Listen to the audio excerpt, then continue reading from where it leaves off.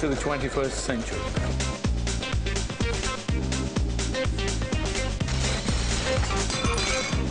I give you My Car. This should be an Olympic event.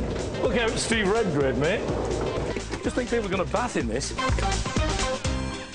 So here's our Stone Age house. All nice and cosy, fire in the middle, except it's not cosy, there's no roof. We better put one on. Got a few timbers on there, but this is the Orkney Islands, there's no timber, there's no trees. So they whale bones and then put some sort of hides or sheeting material, it would have been hides, that's all they've got, followed by big lumps of turf. The same turf probably that they used to use to burn in the fire. There's the walls at the side, and here's our fire down there. Look, there's the fireplace. Everything's around the fireplace, so we'll put a couple of characters in.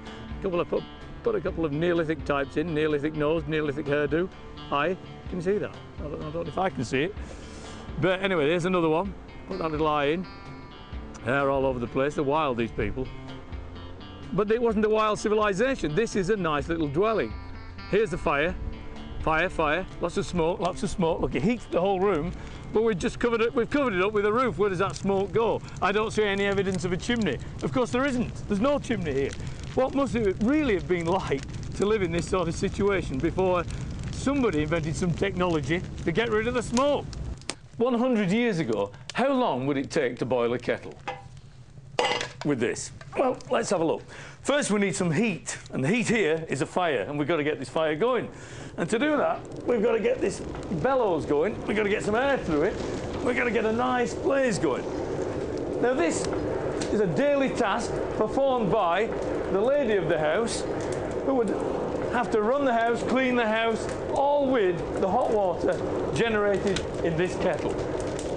Now, this is work. I've I'm tired with, I'm, I'm worked out already and we haven't even started to scrub floors and scrub chairs. I can just see those little old Victorian ladies coming round in the morning for the cappuccinos with biceps about a foot wide. Well, I think it's perhaps getting a little bit too hot. But where's the off button? Where's the off button? No switch, no button. Because there's no inst- instant cut off. It's all got to be worked at. Just too hot for me. The fire is still central, but built high against a brick wall, the beginnings of the fireplace. And they had other lateral thinking ideas to maximise their comfort. I'm bringing a supplementary heat source into an ancient Orkney croft. In fact, a pair of sheep each day gives off heat energy equivalent to more than 200 watts. I'd call them a mini version of a two bar fire. With a front loader, we bung our washing into the drum like that and whack it inside, and we've got an incredible rubber seal that holds the washing and all that water inside. And we've got this fantastic, nice, lifestyle, smooth white exterior. But inside, we've got this whacking great drum with the washing inside it that permanently wants to get down. Gravity being what it is, the washing wants to push that drum all the, down all the time as it spins round. So we've got two whacking great weights, top and bottom, to stabilise the whole thing so the whole thing doesn't go vibrating off. But I can show you in a much better way, really.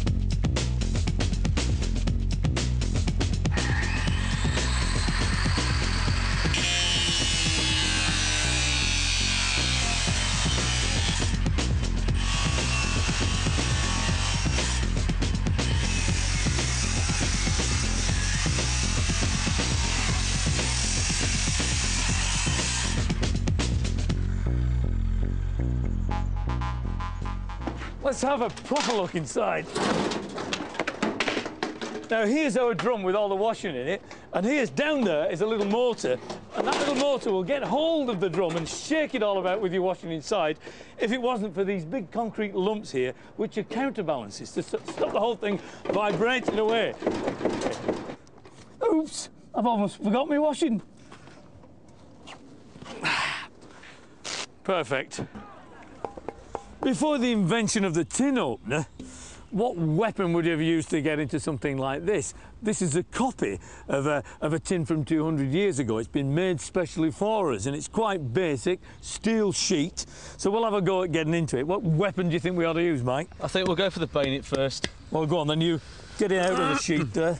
Oh, I just happened to have brought a big lump hammer with me, as you do in the jungle. Soldiers used anything sharp to force an entry, and the bayonet needed a fair bit of patience.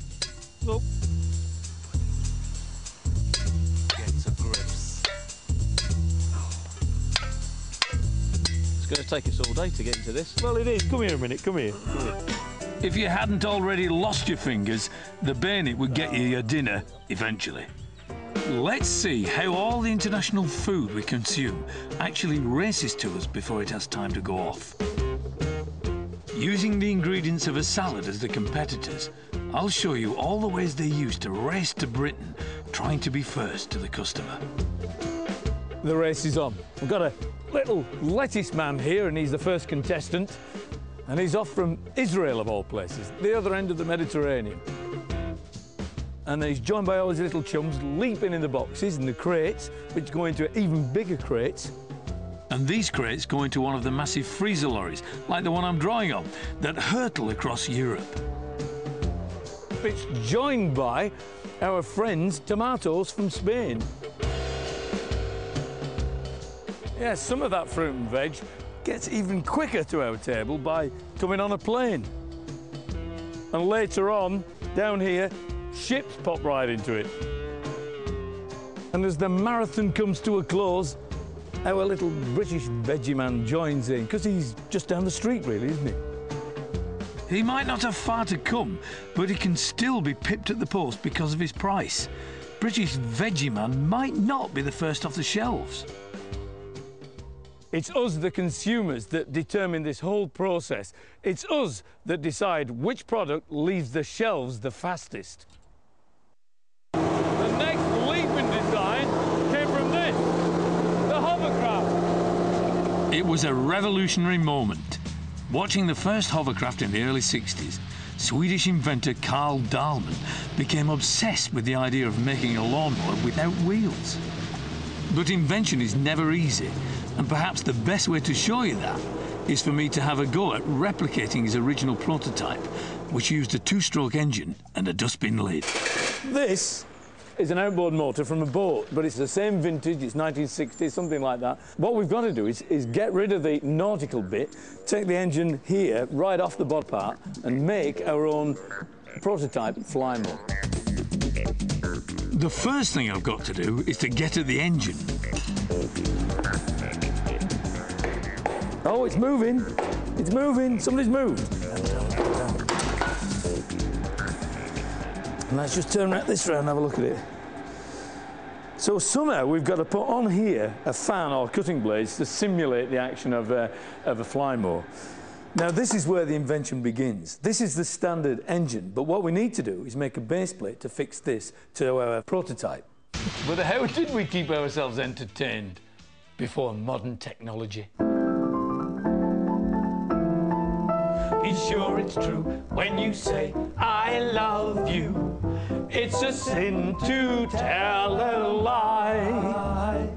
Millions of hearts have been broken just because these words were spoken. And in the days before telly and stereo and radio, exactly how did we keep entertained in the home? Well, there was storytelling and book reading and games. But my favourite, from the 1800s, people sat round singing at pianos like this. Be sure it's true when you say, I love you. It's a sin, a doggone sin to tell a lie. What I say. Hey, thanks, Fats.